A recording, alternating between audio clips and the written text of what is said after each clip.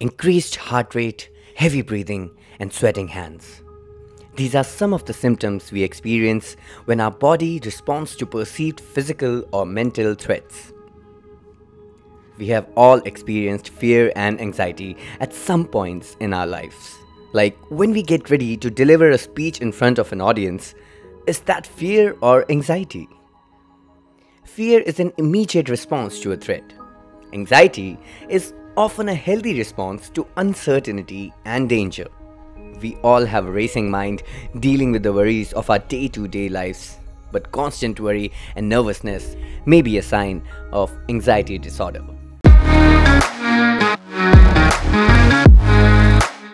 The symptoms of anxiety vary a lot from person to person. One might experience most of the anxiety symptoms physically, like feeling a tightness in the chest, shaky hands, or dizziness. Some of the likely emotional effects can be racing mind or self depreciative nature. Anxiety can also affect how a person behaves. Constant mood swings and restlessness are the most common. Anxiety is the result of constant interactions between a number of different brain regions. When someone confronts a dangerous situation, two brain circuits become active and transmit sensory information about the danger to different parts of the brain. The cerebral cortex, the outermost part of the brain, is used for thinking and decision making, and the amygdala is used for emotional processing. The amygdala monitors the body's reaction to the environment, evaluating an event's emotional significance. The amygdala organizes physical or mental responses of the body without the conscious mind being aware of it. This may be due to thousands of years of human survival instincts kicking in. Although several brain circuits are activated simultaneously, the amygdala initiates a fast response to danger. It communicates with the hypothalamus at the base of the brain, prompting quick release of hormones that raise heart rate and blood pressure tense the muscles, and ready the body to the most appropriate immediate response needed in emergency situations, also known as the flight or fight response. The system is activated before the cerebral cortex can process what is happening. For example, the reflex of a person to get their hand out of a hot saucepan without being consciously aware of what's happening. We feel anxiety when signals from the emotional brain, that is the amygdala, overpowers the cognitive brain, that is the cerebral cortex.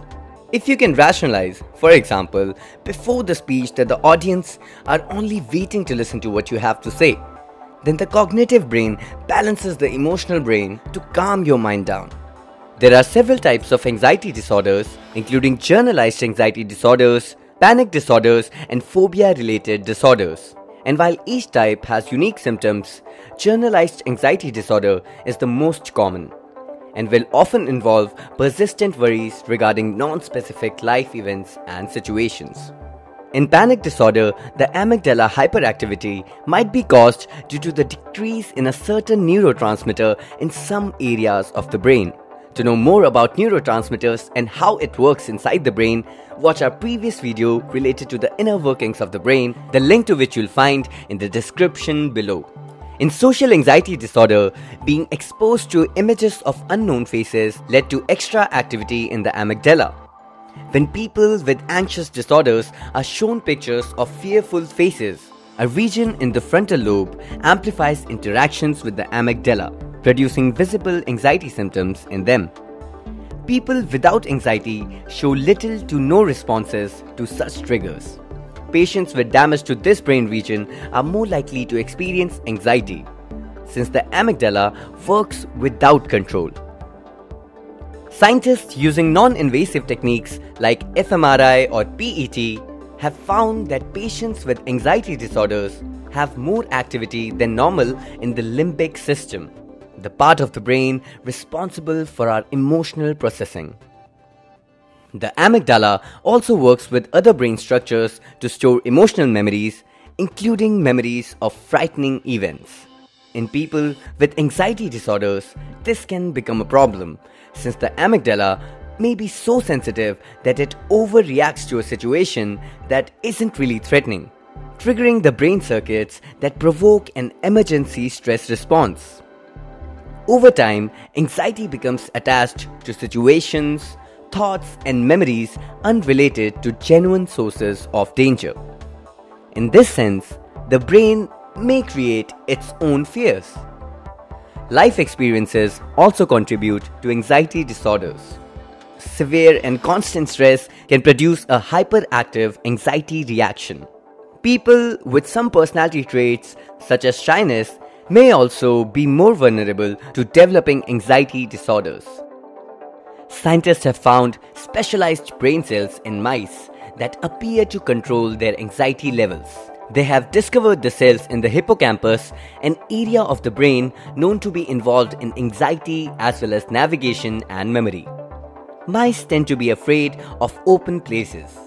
The researchers monitored the activity of brain cells by putting them in a maze in which some pathways led to open areas.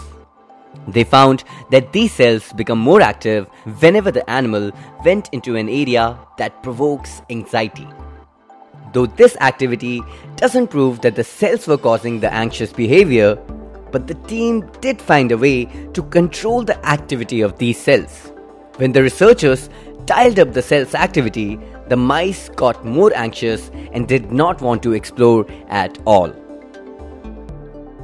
There's a lot more to anxiety than just these cells in the hippocampus.